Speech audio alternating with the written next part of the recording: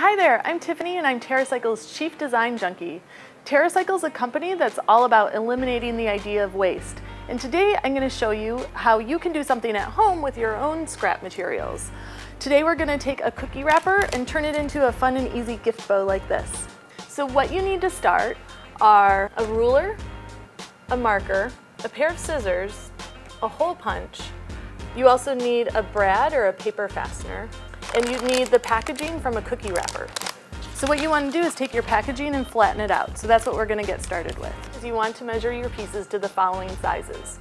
You want a piece that's four inches by three quarters of an inch.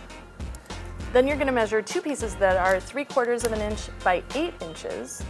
And then you're going to measure three pieces that are three quarters of an inch by nine inches.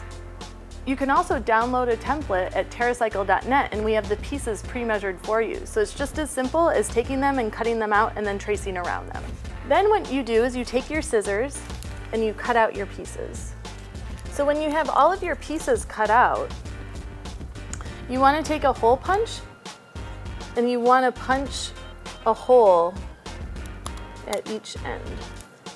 Then, in every piece but the smallest, you want to punch a hole right in the center of the piece. You want to do this for the 8 inch and 9 inch pieces, but not for the 4 inch piece. So what you want to do is you want to take your piece and you want to turn it into a loop.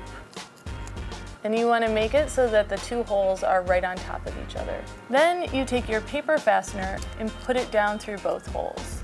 So then you have a complete loop with your small piece.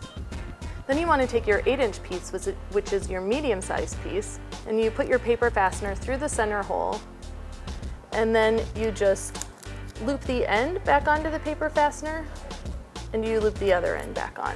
So you're basically creating like a ribbon effect that goes back and forth like that.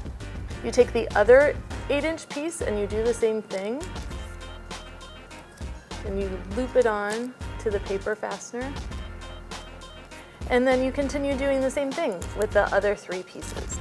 This is really simple to do and it's a great way to dress up any of your package and a great way to reuse materials that you already have around.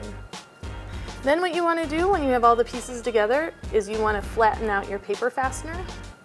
And then when that's done, you can take your pieces and they're easily adjustable so you can fan them all out. Making a gift bow is as simple as that. You can also wrap your gift in food packaging, and this with this I use the silver side of the food packaging. Then you can place your gift bow on top. In addition to Nabisco cookie wrappers, TerraCycle collects a whole range of scrap materials. You can visit terracycle.net for everything that we're collecting. You can also earn money from your favorite charity for doing that. We also have more do-it-yourself projects at terracycle.net, and I have a book that's out called Remake It filled with nearly 100 do-it-yourself projects just like this one that you can make at home. You can check out more info on that at replayground.com. TerraCycle is here to eliminate the idea of waste and we can't do it without your help. I think that's a wrap.